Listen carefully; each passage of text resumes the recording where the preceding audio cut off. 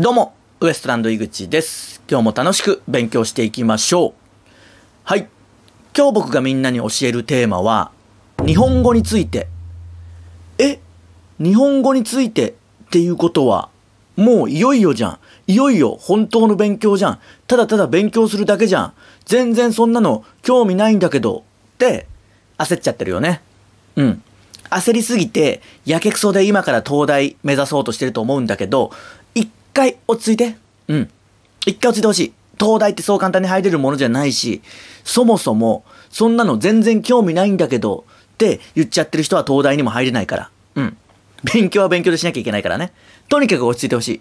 さすがに日本語について全然興味ないんだけど、もうまずいから、ちょっとは興味を持ってほしいというのもあるし、そもそも本当の勉強、じゃあそれやんなきゃいけないの。東大目指します。っていうスタンス、一回落ち着いて。そういうことではないの。うん。確かに日本語についてって言ってよ。うん。ってことは勉強じゃん。って拒絶反応を起こすかもしんないけど、もちろん、うん、勉強的要素、ゼロではないかもしんない。ただ、ここでは、学校とかで教えてくれない。うん。そこに踏み込む。また踏み込むやつよ。うん。学校で教わることって結局さ、カチカチじゃん。うん。そのガチガチの、カチカチの向こう側、カチカチのもっと奥。以前もやったけどね、カチカチのもっと奥を追求していくから、それをみんなに教えようっていう話。うん。上辺の勉強は、どうぞ学校でやってください。うん。予備校でやってください。全然そのね、なんか通信教育でやってください。上辺の勉強は皆さんやってください。それは勝手にやってください。そこじゃないの。そのカチカチのもっと奥。カチカチ上辺勉強のもっと奥を教えていくから。じゃあ何なの？カチカチの奥って何？っていう人いると思うけど、じゃあまず問題出すよ。久しぶりだけど、久しぶりに問題出すよ。はい、こちら。これ何と読むでしょうまあ字の汚さとかね、もう一回置いといて、これ何と読むでしょううん。さすがに、9割以上の人がわかると思う。もうほとんどの人がわかると思う。雰囲気っていうね。雰囲気って読むんだけど、それわかるよね。まあたまに分かってない人いるけど、まあほとんどの人がわかる。これ雰囲気って読む。うん。雰囲気って読むんだけど、うん。雰囲気？ってなるよね。雰囲気って言うじゃん。口では言っちゃってるじゃん、いつも雰囲気って。基本ね。いや、雰囲気って言いますよ。僕は私は常に雰囲気って言ってます。っていう人もいるかもしんないけど、雰囲気って言うじゃない。うん。そこどうするのっていう話。今日は。うん。いや、雰囲気なのは知ってるよ。知ってるんだけど、雰囲気って言うじゃない。言ってるじゃない。で、その時よ。分かって言ってんだよ。分かって言ってんだけど、いやいや、雰囲気ですよ、みたいな人も現れても嫌だし、いちいち、雰囲気っていうのは、本当は分かっていますが、雰囲気と言います。って言ってから雰囲気っていうのもむずいし、うん、そこら辺ね。うん。みんながみんな知ってるっていうことの上でやればいいんだけど、ついてくる人いるじゃない。雰囲気だよ、本当は、みたいな人いるじゃない。それ困るの。うん。まあ、これはね、わかりやすい例だけど、もっといろいろある。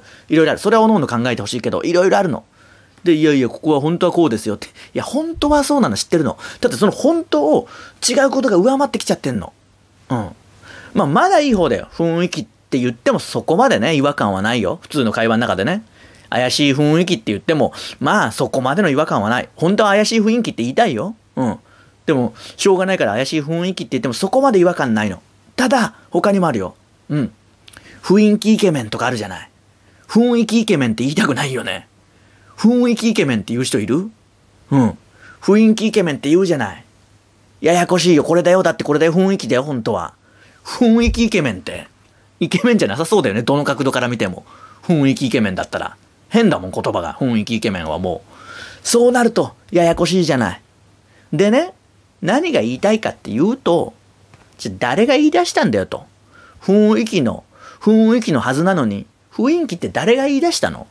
うん。その人きついよ。その人のせいだよ。今こんなになっちゃってるよ。どうしてくれんのっていう話。うん。どっからそうなったのっていうことよ。うん。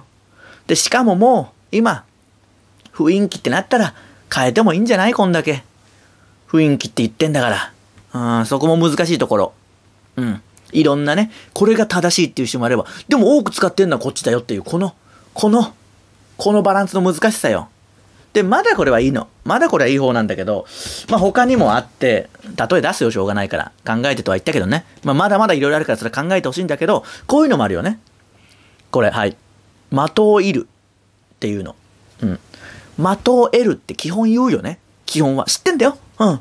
的を射るっていうのが正しいっていうのは知ってんだけど、的を得るって言うじゃない。こういう要領をつかむみたいなことうん。その指摘が的を得てるって言うじゃない。そう、その言い方、的を得てるの言い方になったら、的を射てるとはもう言えないしね。うん、的を得てるって言いたいじゃない。言うじゃない。そっちの方が圧倒的多数なの。でも、いやいや、本当は的を射るですよ、みたいな人も出てきちゃうの。うん、分かってんの。分かってるけど、みんながこう、違和感なく伝わるように、そっちを選んでるよっていうこと、そういうことあるよっていう話。うん。そこのいざこやなくして、いざこざなくしてこうよ。もう、共通にそれはしよう。それだけは、さすがになんか決めてこうよ。でね、この的を得る、的を得るって言うけど、だんだん的を得るも、まあまあ、ありっちゃありみたいなことにもなってきてんの。こういう言葉も実はあるの。うん。間違いですよって指摘してくる人いるけど、実はこっちももう今は普通に使われます。認めます。みたいなこともあるの。いよいよだよね。うん。じゃあどうすんの？的を得るも、もうだんだんある、あるよ、それもあるよ、みたいなことになってきてんの。めちゃくちゃじゃない？うん。そうなったら、わかんないよ。もしかしたら雰囲気も、もう認められてきてるかもしんない。多いんだもん。雰囲気イケメンとかあるもん。雰囲気イケメンないもん。うん。そういうこと。そこどうするかってことなのよ。もうやめよ、言うの。みんな分かってる。テストにじゃあ出た的を、これ何ですか？的をいるって言うよ。うん。これなんて読みますか？雰囲気って書くよ、さすがに。雰囲気じゃ変換しても出てこないんだもん。雰囲気ってみんな知ってる。雰囲気って入力するよ。テストで書く。ただ、言葉で言う分には、うん。言葉で言う分には多い方もいいじゃない。いちいち指摘するのやめようよっていうこと。うん。この書いたね、文字だけじゃないよ。イントネーションとかもあるからね。モデル、モデルさんってね、言うよね。ファッションショーとかのモデルさん。モデルさん、モデルって言うけど、アナウンサーの方たち見てると、モデルって言ってるの。多分正しい発音を使ってるんだろうから、モデルが正しいのかもしれない。女優でモデルの何々さんっていうの聞いたことあると思うんだけど、多分そっちが正しいと思うけど、モデルとはね、なかなかこっちは普段言わないじゃない。モデルさんとか言うじゃない。モデルさんって言うのも嫌だしね。引っかかっちゃうの、他の人が。このモデル綺麗だなって言っても、ええモデルでしょって引っかかっちゃうの。ついてくるじゃない。ついてくるのが好きな人多いんだから。ちょっとでもイントネーション違うとすぐついてくるんだから。うん。方言の、方言のなんかね、イントネーション、ついてきつつ、それが好きっていう人もいるけど、ただ単に変なイントネーションだったら、すごく、すごくとにかくついてくる人いるじゃない。やめようよ、もう。うん。もうやめてこ、そういうの。ついてくのやめようよっていう話。いろいろあるよ。うん。分かってる。うん。雰囲気って分かってるけど、雰囲気っていう、本当は雰囲気ですっていうのやめよう。どっちでもいいよ、もう。うん。分かった上でやってるっていうとこまで見越していこうよっていう話。うん。教えてくんないからね。なかなか、そういうとこまでは。学校とかで教えてくんないの。うん。カチカチのその向こう側。あ、この人分かってるけど言ってんだろうなっていうとこ。じゃあテストで、じゃあテストでよ。テストで雰囲気って書いてたら教えてあげりゃいいけど、違いますよ、雰囲気って読むんだよって教えてあげりゃいいけど、普段は指摘やめよう。そういうちょこちょこちょこちょこした指摘はもうやめていこう。分かった上でやってるっていうとこまで、こっちはね、汲み取ろうよっていうこと。そこだけ守っていこう。それだけ伝えときたいから。で、じゃあ今日のこの話。この話は、もう全世界の、それこそ、学会とかで定められたことなんですか？共通認識でなんですか？って思うけど違うの。そういうわけでもない。じゃあ何なの？一教師なの。一教師の言葉なの。一教師です。っていうあの GTO の名台詞もあったように一教師なの？教師の中で決まってんの？違う。そういうことでもない。一個人。一個人の見解でしかないの。一個人の見解。じゃあ誰の見解なの？イグでしょ。はい。今日の授業はここまで。また次の授業でお会いしましょう。さよなら。